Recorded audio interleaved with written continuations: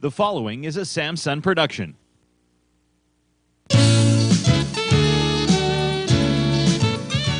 It's time now for the Sam Lesante Show with your host, Sam Lesante.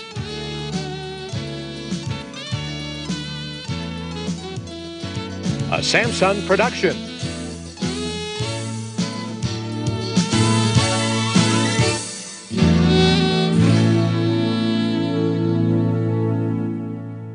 Well, welcome everyone to the Sam Lesante Show, and I'm on location here at the 2005 Pocono Mountain Film Festival, and um, we're going to be interviewing some people here on the, uh, the Sam Lesante Show. Well, now listen, folks, I feel a little embarrassed now because the guy I'm going to interview right now, uh, he only interviewed, it is so far in his lifetime, 300,000 guests. Yeah, 300,000 guests, and I'm a little way behind there. But let me just tell you, people people who work for him. Let me give you some of the names: Bette Midler, Barry Manilow, Woody Allen, Dustin Hoffman, Barbra Streisand, Bill Cosby, Liza Minnelli. These are some people that work for this guy.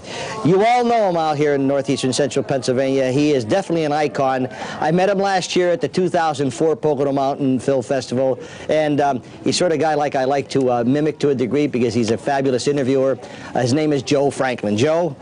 Sam, let me tell you why this is a double thrill, a triple thrill for me. Because when I was a kid, a few years ago, you know, many years ago, you were my role model. You, you were my mentor. And I said to myself, someday I want to be like Sam Lesante. Hey, I and love guess it. what? Huh? And here I am alongside him. And it's, uh, this is something that, uh, I mean, I wouldn't sell you a friendship for a $100. And I mean that.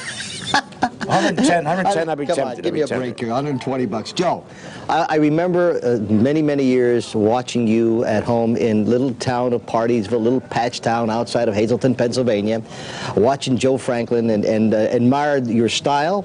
Uh, and um, I have a talk show, of course, you're on, but I have a set, you know. But you were, the, you're like, you, you are, you are the pioneer of the format talk show. Well, when I was uh, just on radio, I was about uh, 16 or 17 years at my own radio show, and I get a phone call one day from Channel 7. They said, Joe, we're lighting up now in the daytime. TV was only on there uh, from 5 o'clock at night till sermonette. There was no daytime TV.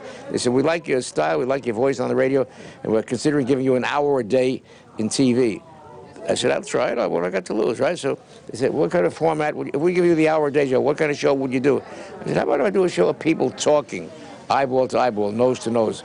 They said, Joe, you're out of your mind. You can't do a talk show. The word is television. You got to give, got to give them vision. You got to give them seltzer bottles, pratfalls, baggy pants, got to burlesque. You can't, you can't do a talk show. So I said, well, if I can't do a talk show, I said, well, how about if I do, because rock and roll was coming in. I said, how about if I do a show of kids dancing to records? He said, Joe, you're out of your mind. Who's going to watch kids dance to music? To Who comes along? Dick Clark becomes a billionaire. Of course, yeah, yeah. So then I said, well, how about if I do a show of people singing old-time songs? I love all. They said, who's going to watch people sing old songs? With a little ball bouncing Little and ball- down. Who comes along? Mitch Miller Yeah, sing along it with. Mitch. He go. becomes a billionaire. Yeah. But I defied them, Sam. I did what I consider to be what I think was the first pure, organic, from the bones TV talk show. I uh, since then, 500,000. I'm in the Guinness Book of World Records. 500,000 interviews. 500,000. This had Well, 300,000. that was last week. That was last week. Joe, you know, uh, and uh, you have your, your producer here, and I'm going to talk to him in a little bit. But, you know, um, I- I've been doing a talk show since probably, I started in 1970, but really around 1993, starting uh, with Jack Palance, we were doing the show. But uh, there, there's a skill t- to what you do, and I'm, s- I'm learning the skill. I'm not as really near as you, where Oh, your stature.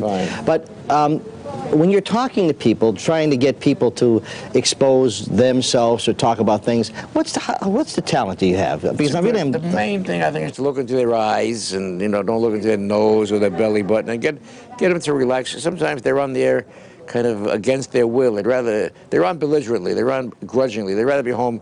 Uh, typing out the next book, but the, the the editor says you want to sell books, you got to make the rounds of TV talk shows. So you got to sort of, and I've, I've always said the main thing, you know, during the time I was on TV, 500 talk show hosts came and went while I was on. 500 came and went. So the, the mortality rate in our field is staggering. So I've always said, and Rick Russo will agree, the main ingredient is sincerity. Sincerity. And once you learn to fake that, once you learn to fake sincerity, then, then you got it made. Well, there's not faking sincerity, but that's you're so true. You're so true. The what I found from watching you, okay, and I'd love to be able to come on your radio station. What I what I found from watching you is that is is that exactly sincerity, letting the person that you're talking to be the star, not you, okay, because they're the star on you your know what story. else is very important, Sam? Get the plug out of the way fast. If you don't plug the book or the movie or the record at the beginning, they're they're nervous. nervous, yeah. When, when they get when they get around to the plug, so Leno does that. He Leno stretches that out. You notice that? Really? He doesn't. I mean, he doesn't come out with the. He'll wait to the very last segment and say, "All right, tell us about this movie you're in." You know, I could Yeah, just. yeah, Um, all right, now I said you. You know, Bette Midler, Mary, uh, Barry Manilow, all these people that work for you. You started what over 43 years ago? I started. No, I started about not 51 years ago. 51 years. But you've been on television for uh, what 40 40 years? Well, yeah, 43 and a half years so far. All right, now, I asked Robert Vaughn this question in one of my shows, uh, and I know this is a difficult question because someone asked me today, Sammy, who was who was the, you know, one of the most exciting interviews you ever had? You had over 500,000, so my God, I know it's going to be a, but some of the people that you interviewed that you found very interesting. Well, I had five U.S. presidents. Did I mention that? No. I had Who uh, are the five presidents? Ronald Reagan five times, but never as president. I had known, he was three times he was hosting a program called Death Valley Days. Yes. Sponsored by 20 Mule Team Borax. Twice he was doing a program called uh, GE Theater as host. And he came on one time with a book called Where's the Rest of Me? That was his famous line from the movie King's Row. I didn't even ask him for an autograph. I didn't. I think he's just another actor. And the next year he auditioned. He told me he auditioned for the part of uh, was it uh, well governor first. Then he auditioned for the part of president. Didn't get the role, but he got a call back later on, and he got the job. Of I, I had uh, Jimmy Carter. I had Nixon twice. I had Gerald Ford, and uh, who did I leave? I had Bill Clinton about four times, and probably one more that I forgot. And I, I had I gave the first exposure ever to, to people like uh, Bill Cosby and. Uh, Michael Jackson five times with the Jackson family. Wow. Little beautiful kid. And uh, I had uh, the pleasure of reading in a magazine about a month ago a list of people who never did a talk show. It said it said it said Charlie Chaplin was never on a talk show. It said it said John Wayne was never on a talk show. It said Cary Grant, the ones who they, they never were on. I had I, I had the photographs with those people. The only one I didn't have is Greta Garbo. I wanted Greta Garbo. She wouldn't appear on anybody's talk show, but I. But I couldn't. I, I think my favorite. I choose my favorite. Sam. Um, it might be Bing Crosby. I had Frank Sinatra four times. Bing, I always thought of Bing as being what you call mechanically reproduced. I thought of Bing on movies, on television, on radio, on records. When he walked toward me, flesh and blood, mm-hmm. I think that day I melted. I did my, I did my all-time best. And Bing, in private life, you know, Bing was quite aloof. He was, he was a little icy, a little cold. But that day with me, he was so warm and loving and just, he could have been any man in the street. Mm-hmm. In fact, after the show, he goes down the street. He, goes, he says to a girl, he says, "My name is Crosby. Want to go on the road with me?" Just to me, he was, he was so happy that day. Mm-hmm. They took a ride on a subway train. I got the picture of Bing on a, on a subway train with the man, billionaire. You know, You find these people when you were interviewing them, guys like Sinatra and the people that you mentioned. Uh, uh, how do you find them um, interviewing them? Were, were they?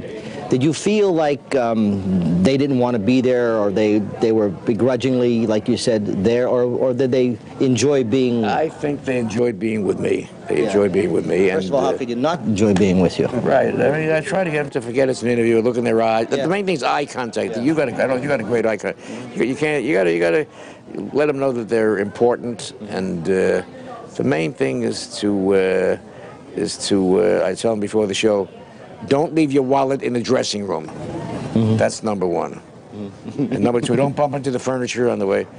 And I tell young actors, lie on the back of the resume. Make up some lies, otherwise. You know. so. Your producer's laughing over here. I'm going to take a break and come back. Folks, I'm talking to Joe Franklin. This guy, he talks about me being, he's a funny guy. He's, he said, I'm his mentor. Bull. This guy's my mentor. He's been around for 43 years, 43 consecutive years, over 500,000 guests, doing what I'm doing today. I'm just a drop in a bucket, but uh, I love the guy. He's, doing, he's a fabulous person. I'm going to come back and talk a little bit more about Joe and then talk about his producer. He has a f- radio show. He has nostalgia. He's probably one of the leading guys in the world with nostalgia. He has movies he's selling. This guy is just jam-packed, and he's only, what, 27? And at Tw- night I drive my cab. As a cab driver, I've been, I've been hailed by millions. we'll be back right after this. Folks, I'm here on location. Uh, 2005 Pocono Film Festival is a fabulous event. And uh, as you know, I talked to many guests. I was honored this year to be the master of ceremonies. But speaking with me now uh, is uh, Joe Franklin, and he's the, the main man of the, the, the talk format. I'm going to talk to his producer, radio show, uh, Rick uh, Russo, pretty soon. Joe, you had over 500,000 guests before you mentioned about some famous people, Michael Jackson's, you know, all these famous people. Do you know, like Dustin, did, how, how did Al- they? Al Pacino, Al. Pacino. Now, do they remember Joe Franklin? That's a good question. I didn't mean to get heavy, but uh, the answer is not usually because I symbol I represent to them the time when they were broke, and if they see me, they're very uh, sadly reminded of those days, and they don't want to remember those days. So if they see me walking down the street, they'll sometimes go on the other side of the street. You are kidding me. Yeah, that's how it is. Just a matter. Yeah. Bill Cosby always comes back. Bill is the nicest. Bill. If I had to name one of my favorite discoveries, the man who always comes back. And Garth Brooks comes back too. Mm-hmm. And uh, let me think who else. Uh, Most of them, most of them don't come back. That's that's very profound question because You know, and, and I can imagine how you must feel because there's many times where I've interviewed a lot of people, nowhere near. I've interviewed. I've been very blessed to interview a lot of celebrities. You're one of my top, uh, but. You wonder why you would think that they would want to come back to a guy like Joe Franklin, who gave them an opportunity, who gave them that. Uh, but yet, you, you're right. It reminds them of when they were nobodies. But that, the people that come back are are above that. Broadway is the longest street with the shortest memory. Yeah. There's a broken heart for every light on Broadway. You, you need you need big, big binoculars to find gratitude in show business. Yeah. I don't mean I don't want to sound bitter or No, I, I- don't want to sound cynical, but that's how it is. They forget. And you love New York. How many people do you think have come to me through the years and they said, Joe, let's make a banquet in your honor. We'll, we'll book the Grand Ballroom in the Waldorf Astoria, and we'll get all your proteges. We'll get Barbra Streisand and Bette Midler and Woody Allen. They think you're just going to make a phone call and Tony Bennett. They don't come. They, they don't come. They, they, they've got their own lives, and, and God bless him. I, I, it's like I asked Joan Blondell once. I said, Joan, I says, uh, your husband Dick Powell is now married to uh, June Allyson. You know what she said? I had him first. That's, that's, that's my view. I had them all first. Well, you, you're you're still going. You're going strong, and um, you know you go to your website. Uh, just go to Google or Yahoo. Did Joe? Fra- What's your website anyway? The It's Joe Franklin. dot com? Memory Lane. What is it, Rick? I don't, I don't- Uh, we're actually revamping it uh, now to joefranklin.com. Okay. And uh, we're redoing the entire website and uh, bringing everything up to Well, I went to the website. This is Joe. It's, this is Rick Russo, his uh, producer, his whatever. He's another Joe Franklin. Um, I want to talk about the radio show, but when I went to the website, I finally have the, the, the music playing and uh, a lot of great things about it. But uh, let's talk about his radio show. You're the producer of the radio show. When is it on? What does it do? And all that other stuff. First of all, Sam, thank you for having me. And uh, you can't imagine what an honor and privilege it is to uh, work with this uh, TV and radio legend. I can't imagine. I'd love to be. I, I love going to New York. I wish I could see this guy once a month just to be with him because I could learn so much. Just, just like I learned so much from Jack Palance and still and still am. Right. Well, Joe Franklin is hotter than ever. Let me tell you that. Uh, he's booked solid with speaking engagements, lectures at various colleges and universities, making appearances all over town, and uh, it's just a ball, uh, you know, hanging out with Joe and doing this great work. And uh, had the great privilege of working on uh, Memory Lane, Joe Franklin's Memory Lane Talk about memory lane. What is it? It, it, Memory Lane is just uh, the most eclectic radio program uh, ever, in that uh, Joe brought together people from all walks of life to discuss lifestyle, to discuss music, theater, all kinds of topics, and playing and, and preserving the music of the 20s and the 30s, the Eddie Cantor uh, programs. Rick and, I, Rick and I have a Sophie theory, Tucker. Sam. I mean, you can't knock what's current, but we have a theory that half the population is what you might call musically disenfranchised. They, they, they don't understand rap and rock and acid rock and, and uh, hip hop. They don't, so when I when I play them, uh, Al Jolson, Eddie Cantor, Frank Sinatra, Rudy Vallée, Kate Smith, that's their reason for living. What do we want to be when we grow up, Joe? Well, I'm not going to quit what I'm doing until until I get it right. I, yeah, well, I've been around for a long time, and I'm, I'm just uh, getting warmed up now. You, you're, uh, you, you produce um, the, the radio show, right? Now, do you do get the guests together, or do you have? have Additionally, I'm a little disappointed with you because last year you promised me you were going to interview me on your radio, and I figured I had it big. I kept getting your butler. The butler says, no more, Mr. Mr. Sam isn't accepting any more uh, calls from Joe Franklin. yeah, right. Now, listen, I have your card. I'm going to track you down. I want to be on that radio I'm show. ready the minute you are, Sam. Anything else new, exciting? What's happening with Joe? Well, like I said, Joe Franklin is hotter than ever. We're revamping the website, Mm-hmm. Joe Franklin Productions, And uh, I'm having a ball archiving all of Joe's uh, uh, TV shows. Yeah, the vintage, mo- uh, the vintage movie classics. Now, did you do those? Are you? Are you? Are, Yeah, Are they uh, out there now? Can we buy them? We're working on that now. There's going to be the best of Joe Franklin Yeah. DVD series. Fabulous. And With uh, Bob Hope, Milton Berle, Dick Clark.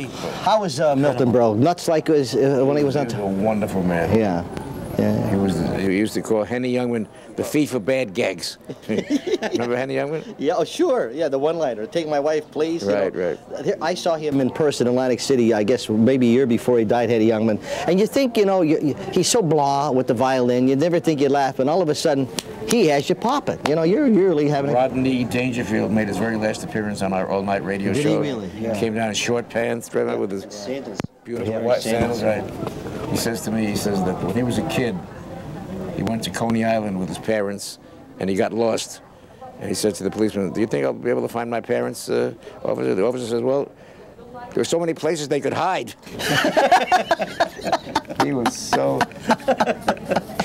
Anything else you have to, any other great stories you have? Because I hate to break this uh, segment up. It's just, I, I enjoy talking with you. Any other exciting Well- things you can tell our viewers? I can only say that uh, the best is yet to come. Today's talk shows, I think, have gotten a little mean-spirited. They got a little, little cruel. Today's talk. Why talk is shows. that, Joe? I don't know. You, you can't knock what's current. I guess you can't knock uh, Jay Leno, David. Uh, they're all they're all wonderful, but a little, a little mean. Have you noticed, Joe, uh, something that I've seen, uh, and believe me, I'm not even comparing, you know, Leno and Letterman, but I noticed, uh, as I asked Robert Vaughn about the political, you know, how the actors these days are getting more involved with politics, and I don't know whether that's a good thing or a bad thing, but you notice Letterman has a has a little agenda going for himself, and Leno has a, and I don't know if that's a good thing. Can't hurt. I, it's, uh, I don't think the audience pays much attention to it anyhow. no? No, they they they feel a little bit self-important when they when they uh, when they. Uh, Put forth their own political view. I think Al Franken is exciting to watch. Yeah. And uh, the talk shows today uh, tend to uh, overemphasize the youth appeal. I think I mean, you want to go on the show if you're somebody important. They, they just want a young actress with long legs or, or a hot leading man. I think they're leaving out a lot of. Uh, Well, how about substance? We forget about substance. they don't want to appeal to anybody over the age of 35. The theory is that if you're over 35, you're not going to change your brand of dog food or your Yeah. car, or, and they're so wrong. It's definitely wrong. You know, you're talking about people uh, uh, 35 plus that have a lot of major purchasing power. Expendable power. They, Yeah. they, Yeah. it- I think it happened in one season. They took off all those shows in one season, Sam. Even though they were number one in their time spots and had the highest rating, they took off in one year. Ed Sullivan, Jackie Gleason, George Gobel, uh, Dean Martin, who else? Uh, Red Skelton. I mean, Danny Kaye. They- Tom Jones. All in one season. Yeah. And they, they- you know, I miss those variety Yep, shows. that's right, yeah. They, they, they You weren't- don't see variety shows anymore. Nah, it's a different you know, world. around the holidays, you'd see some a lot of holidays, but you don't see them anymore. have been involved in the entertainment business for over 25 years uh, with the New York State Council on the Arts, and that's how I actually first met Joe, was producing special events. And Joe was the very first King Neptune in the Coney Island Mermaid Parade. And that uh, was a great, great uh, day. And uh, we also produced the uh, the Rock and Roll Hall of Fame when we brought back the Brooklyn Paramount for a special event in downtown Brooklyn. That was in 1993. So, Uh, is there uh, anyone he doesn't know? No. All right. Well, at least he knows me now. I'm, uh, I, I'm, I got his phone number. I give him a call and say, "All right, Joe, I'm coming on the radio station." Joe, it's a pleasure. Please invite me back. Anytime, my friend. It's it's a pleasure. Rick, nice to meeting you. you. Okay, Thank you. it's a Thank you pleasure. My. My. Okay, your pleasure. Folks, uh, I'm Sam Lesante, and we'll be back right after this. We're here at the uh, 2005 Pocono Film Festival, and uh, we have some more for you. Stay with us. Welcome back, folks. You're watching the Sam Lesante Show, and I can't tell you how happy I was to talk to Joe Franklin. What a great guy he is. Now, um, we're here at the Pocono Film Festival. One of the things they do is they produce independent, independent films. Uh, one of the films up here tonight for an award, uh, hopefully an award, is The Signs of the Cross. The producer, director, Writer. writer. John Reedy's here, and Actor. an actor. And we also have, if you remember The Sopranos, uh, uh, Tony Lip. This is the guy from The Sopranos. Okay, I, I, I'm going to teach him a couple things in a little bit. but here, uh, uh, that's right. Uh, the Signs of the Cross, right? Signs of the okay. Cross. Tell us, tell us about this independent. Signs of the Cross is actually a uh, film based on my life. Um, it brings from my childhood in the Catholic Church straight up through my adult life. Uh, it talks about um, my trials and tribulations in the uh, church and in the school I went to, and alcoholism, the abuse in my home, uh, how I uh, turned into an alcoholic myself and uh, went into recovery, and uh, I'm sober 23 years now because of uh, AA and the grace of God.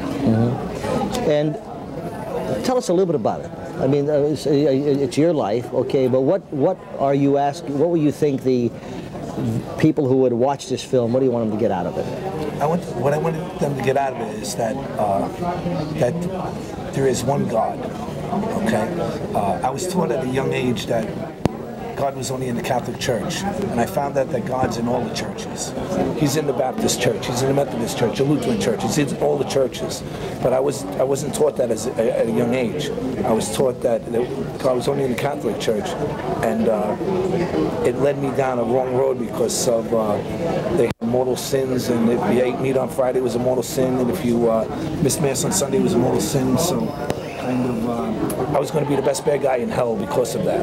Because I ate meat on Friday because we were poor. We had Leo, the hot dog guy, was giving me free hot dogs on Friday because nobody was buying hot dogs on Friday. I ate the hot dogs, so I know I was going to hell. I was missing mass on Sunday because my mother was getting beat up by my dad. Um, so you know that's just the way it went. You know, so I found out later that God is in all the churches. He's not only in the, in the Catholic Church, but he's in uh, he's in all of them. You know, and all you have to do is ask. Just call his name, and he'll deliver you. Now, John, who's in the film? Oh, I got Tony Lip is in the film. I have Dan Lauria from Wonder Years, Ilene Kristen from uh, As the World Turns. I have uh, Eileen Fulton uh, from One Life to Live, or vice versa. Um, I have um, Chuck Zito, Frankie Gio. Frankie Gio. I have uh, Vinny Vella. Um, I got Joe Franklin, who was just interviewed with Yeah, you. yeah. I have uh, Mark Coppola, Christine Nagy, Anthony Mangano, um, Carol Alt, who plays the lead in my film. She was the supermodel. Um, lot- I got a great cast. And this film, uh, how could one see it?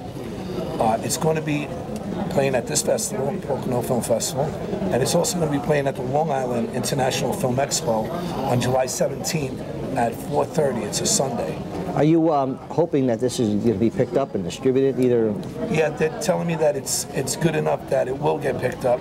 I'm just waiting for a distribution deal or someone to come forth that you know can get me that distribution deal, and uh, it'll definitely be probably a, a limited theatrical release or straight to DVD. Do you have a background in acting, or did you? Just, Yeah, I've, I've, I've acted. I've been on a lot of the soaps. I've uh, done America's Most Wanted. Uh, if you go on, to... You're on America's Most Wanted. What, what, what do you mean by that? Wait a second, folks. We may we may be making some money. my name is Jose Ramirez. You're right. Oh boy. Uh, but uh, you, you so you did some acting. Yes, I have, I've done acting. Yeah. I've done acting, and I started writing, and then from the writing, um, I wanted to do my own film. I seen, I've been on enough sets that I, I figured I could do this, and uh, so I put together a feature film. Then I did a short, and then I said, let me just step it up a little bit. And since I've been in the business a while, uh, grab people that I know that I worked with, and also uh, people of the uh, casting director would uh, bring into the film. Now, well, I wish you the best with it. Thank you It's very an much. interesting. Uh, that sounds like an interesting story. Yeah, just. Tony Lip. Tony, uh, you um, started how many years ago? 35 years, you said? Something like that. Yeah, now you're only what? What, what year was four- The Godfather? Was it, 60s? wasn't 70 it? no, I think it was 73. Yeah. Were you in The Godfather? Yeah, that's when I started. What were you? What role did you play in The Godfather? I missed- played Luca Brasani's uh, bodyguard. Oh, all right. I Now- started as an extra. Yeah. Now you're in The Sopranos. How many? Uh, I did uh, the third season, the fourth season, and the fifth. And you were the a crime boss. You said right. Right, the New York Crime Boss, correct. Now, you got a good memory. Yeah, well, listen, it says I'm short. My memory's so short too. Do you? th- That's an interesting. Sopranos certainly has been winning all these kind of awards all over the place. Um, working with the people. Tell me about the Sopranos before you talk about this film. The Sopranos, the, the, the characters, Yeah. They're all great guys. Uh, I know most of these guys for many, many years. So working with them became very, very easy. You know, it was uh, like a piece of bread. You sit down, like you were sitting down in your own house. You don't even need a script. No, really, you don't. You don't. you don't need a script. But, but, but the lines that we had, you had to say word for word. Uh-huh. Word for word. Working uh, with um, uh, the, you know, we, we, when you're looking at it on television, it's a whole different, different uh, Mm-hmm. approach. But um, it's um, there's pros and cons about The Sopranos. I'm Italian. I'm full-blooded Italian. Um, I'm eh, proud of you. Well, I'm proud of myself. but you know, sometimes we look at The Sopranos and, and say to ourselves, it really is is is um, is this portraying Italians the way they really are, okay? And and you know, you know, you had that conflict, the one where they wanted, they didn't want them in the parade, and they did want them in the parade. And you know, how do you feel? You're Italian, right? Listen, Yeah, let me tell you something. yeah, This is a movie. yeah. What are movies about? Tell me. Well, uh, It's entertainment. right, right, right. And that's all it is. Yeah. It doesn't put anything bad on the on the Italians, and it doesn't put anything good on the Italians. But we, as Italians, know that we're the best. Yeah, that's it, folks. uh, well, I mean, uh, it's interesting that I know it's a movie, but sometimes people actually believe it. You know, Some See, they- people do. Sometimes, you know, like when an Italian's in business and they're doing successful, they say, "Hey, he's got to be tied to the mob." If you're Jewish in your business, you say, "It's a good businessman." I mean, you know what I'm That's saying? true. That's Yeah, true. you That's know. true what you say. Yeah. But these people that think that way, they're not thinking right. Yeah. I mean, they, they create more problems that should not be created. But they, can I say what I want to say? Well, watch it now. They're bull breakers. Yeah, I- That's all they are. Uh, well, that's it, folks. You're Tony Lip from The Sopranos, and now you're in this movie. What part do you play in this movie? Uh, the Signs of the Cross. I play a mob guy. Okay. No kidding. Something. That's all- that's the only roles I get. Different, you know what I mean? He plays a mob guy. But uh, listen, uh, while, while we're on the air, Yeah. I want you to keep in mind October 24th is a book coming out called Shut Up and Eat. It's a book that I put together. Yes. I have most of The Sopranos. It's all about Italian American actors that were in a mob movie. I have their recipes Fabulous. and their life stories. Shut Up and Eat. So it's two books in one. That's great. Buy that book. Shut up and eat. Yes. All right, folks, and I'll, I'll, I'll make sure I talk about it. Shut up and eat. Shut up and eat, huh? Well, uh, good luck with your film. It sounds to be a pretty interesting film, and uh, I always wanted to meet the guy from one of the guys from The Sopranos. It was a pleasure meeting you. Okay, okay. And it was good talking Uh, to you. Nice talking to you too. Shut up and eat, folks. That's the name of the book. Coming out in October. You're watching the Sam Lesante Show, and we're on location here at 2005 Pocono Film Festival, and uh, we'll see you next time. This has been a Sam-Son production.